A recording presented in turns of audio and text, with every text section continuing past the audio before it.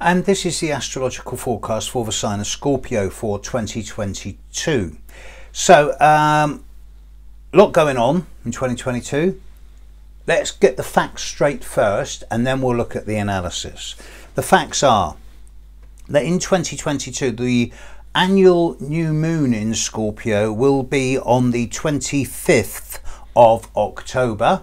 It is a partial eclipse of the sun. It's not permanent, it's not a total one, and it's not really that big a deal. The full moon in Scorpio will be on the 16th of May.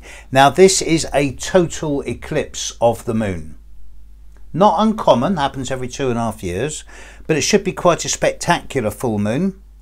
And it's going to be a really interesting one. The full moon on in Scorpio on the 16th of May will be squaring Saturn to less than half of one degree, but it will also be trining Neptune to less than one half of one degree. So there's going to be a lot of challenges. There's going to be a lot of um, old structures crumbling and dissolving around that Scorpio new moon, but there's also going to be a kind of more innovative approach to the flexibility of life, the more openness of life. Neptune in Pisces is, is probably a stronger influence than Saturn in Aquarius. So I'm just going to tip the balance a little bit in favour of this uh, total eclipse of the moon on the 16th of May in Scorpio. It is going to impact on a lot of you, and um, particularly, incidentally, those of you born around around the 17th, 18th, 19th of November. That's particularly strong for you, that full moon on the 16th of May. The Sun will move into Scorpio on the 23rd of October and it will stay with you till the 22nd of November. Mercury will be in Scorpio from the 29th of October to the 17th of November. Venus will move into Scorpio on the 23rd of October and stay with you to the 16th of November. Mars, I'm delighted to say, is not going to be dramatically impacting on you at all in 2022, although the time that it's in Taurus, your opposite sign, from about the 6th of July through to about the 20th of August, yeah, you will all get your buttons pushed during that time for about 24 hours. Not really a big deal. Jupiter is going to spend the first 19 weeks of 2022 in trine to all of your suns. Now, this is nothing to write home about, but it does suggest that all of you will go through at some stage from the start of uh, January through to about the 10th of May. All of you will, during that 19 week period, will go through a one week period where you will feel that 5 to 10% more fortunate. There'll be more opportunities around you. That's, that's healthy. It's not, it's not exceptional, but it's healthy. The problems next year are going to come from Saturn and Uranus. I particularly draw your attention to the full moon eclipse, um, not only on the 16th of May. Have I got this right? 16th of May. Yes, but also on the um, 8th of November, the total eclipse of the sun, wrong, the total eclipse of the moon in Scorpio on the 8th of November. This is going to also have a big impact on all of you.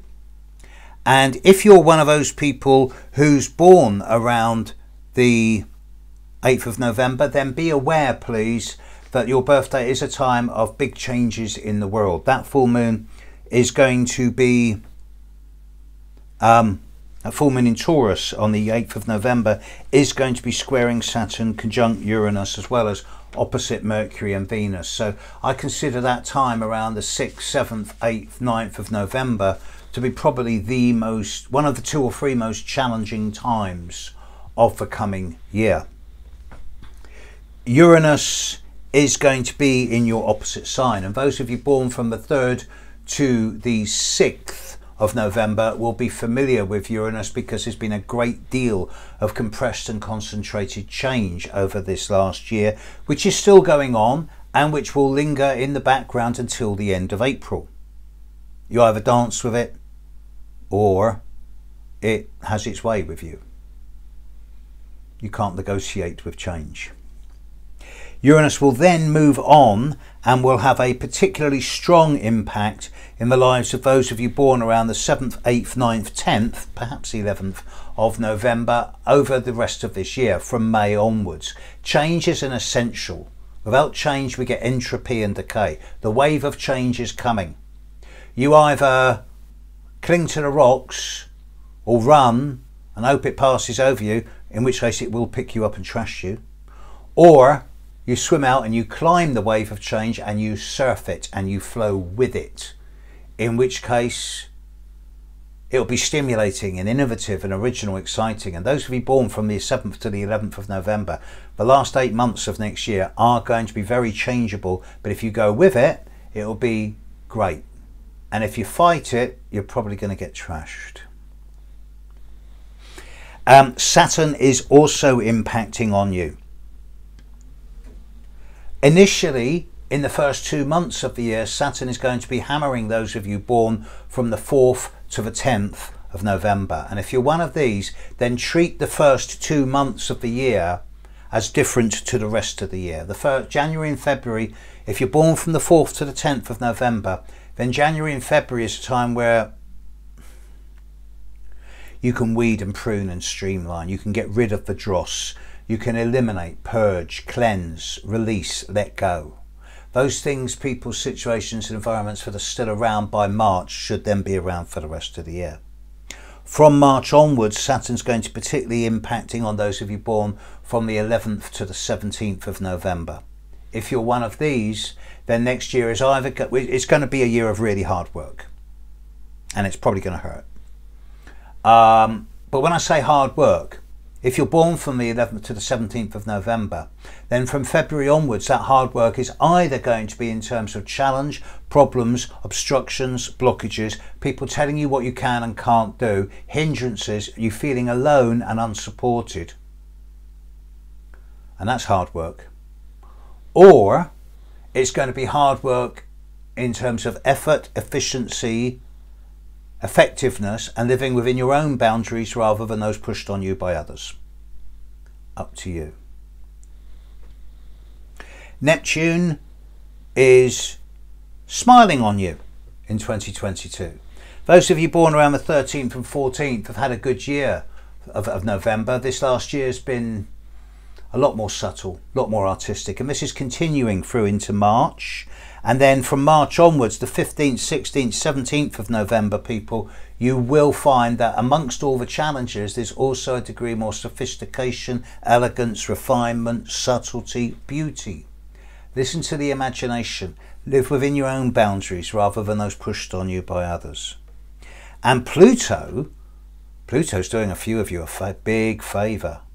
If you're born at the end of Scorpio, the 18th, 19th, 20th of November, this coming year is going to be a really good year for you. You can expect a number of positive changes, especially in terms of internal psychological growth, self confidence, self belief. It's looking an excellent year.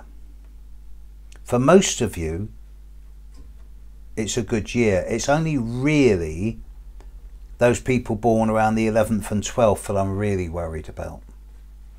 And even here, if you dance with change, it'll be all right. Thank you to those two in particular, Scorpios, who have gone out their way to be of help and, ser- and, and service with me over this last year. It's those little donations that come in that keep me going and keep me able to, able to pump out all this free stuff. Without it, I wouldn't survive. So thank you. You know who you are.